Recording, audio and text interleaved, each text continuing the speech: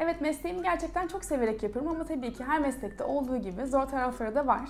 Özellikle bunların aslında en başındaki e, konu e, yanlış bilgileri temizlemeye çalışmak. Çünkü beslenme ile ilgili çok fazla e, bu konunun uzmanı olmayan kişi medyada, gazetelerde, dergilerde e, yanlış konular veya yanlış bilgiler verebiliyorlar kişilere. Ve bu yüzden kişiler bizim karşımıza geçtiklerinde ya da herhangi bir yerde karşılaştığımızda, bir arkadaşımızla, bir dostumuzla, yolda karşılaştığımızda bile aslında bu tarz sorularla biz karşı karşıya kalıyoruz.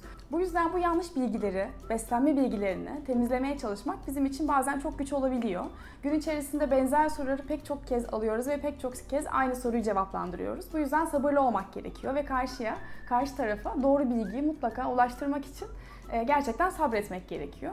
Bu biraz e, belki olumsuz tarafı diyebiliriz. Bunun dışında e, danışanlarımız bizlerden diyetisyenliğin dışında da farklı destekler isteyebiliyorlar.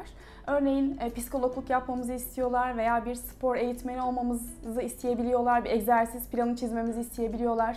Kan tahliline bakıp belki ilaç tavsiye etmemizi isteyebiliyorlar ama bunlar tabii ki çok yanlış şeyler. Herkes kendi mesleğini yapmalı. Bu yüzden bir ekip çalışması olması gerektiğini çok düşünüyorum, çok önemsiyorum.